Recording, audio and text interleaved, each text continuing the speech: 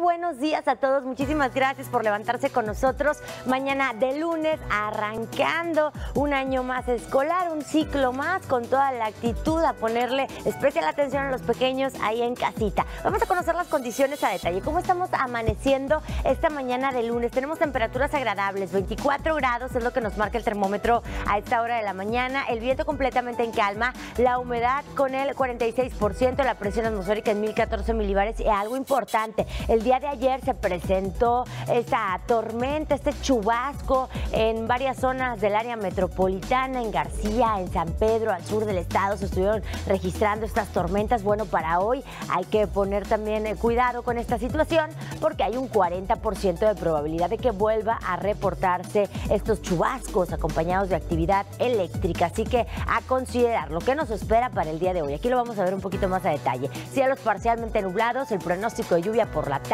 con un 40% en forma de chubasco, muy similar a la lluvia reportada el día de ayer, ese chubasco fuerte que se presentó en varias zonas del área metropolitana, hoy no se descarta vuelva a presentarse en el transcurso de la tarde, un 40% de probabilidad, recuérdenlo. La máxima para hoy llega a 32 grados, a las 10 de la noche el termómetro estará manteniéndose en 30 grados Celsius y nos vamos ahora con el pronóstico para los próximos días, que es lo que nos espera. Martes, miércoles, jueves y viernes, cielos parcialmente nublados. Hay pronóstico de lluvia para mañana martes todavía, pero esta vez con un 20% la probabilidad.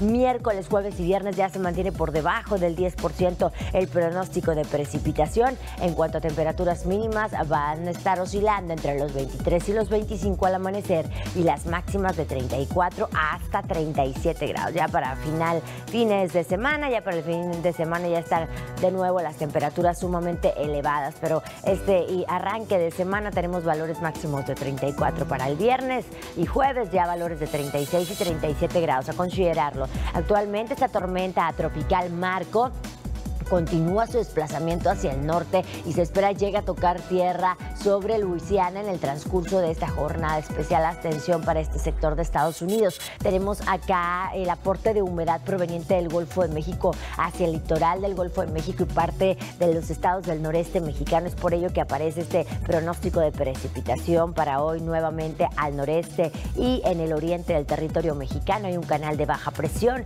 que viene jugando desde el norte hasta el centro del país interactuando con el aporte de humedad del Pacífico. Favorece también a lluvias a lo largo de la Sierra Madre Occidental en el occidente y centro de nuestro país. La onda tropical número 30 avanzando sobre los estados del sur y sureste también refuerza el flujo de humedad y aparece el pronóstico de precipitación en Michoacán, en Guerrero, en Oaxaca, en Chiapas y esta zona de inestabilidad que mantiene condiciones propicias para intensificarse y convertirse en el siguiente ciclón tropical de la temporada del Pacífico. Le estaremos informando sobre la evolución de esta zona de perturbación. El día de hoy estaremos completando un total de luz solar de 12 horas con 48 minutos y la próxima fase lunar será una luna cuarto creciente que da cambio mañana martes 25 de agosto. A seguir con toda la información del pronóstico del tiempo. Vuelvo más adelante. Buenos días.